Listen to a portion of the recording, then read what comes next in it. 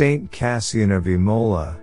Feast on 13th August. Cassian is the patron saint of Mexico City, Imola, Italy, Sukošan, Croatia, and of parish clerks.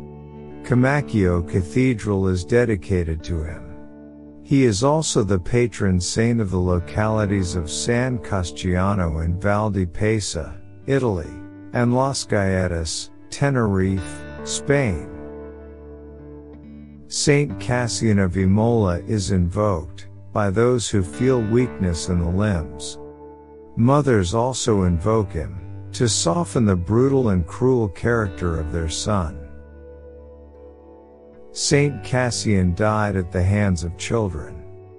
He was instructing young pagans and they, on the concerted order of their parents, one day gathered at his side, numbering about 200, and pricked him with the tips of their stylets with a cruelty that the Christian mores in which we are born do not allow us to understand.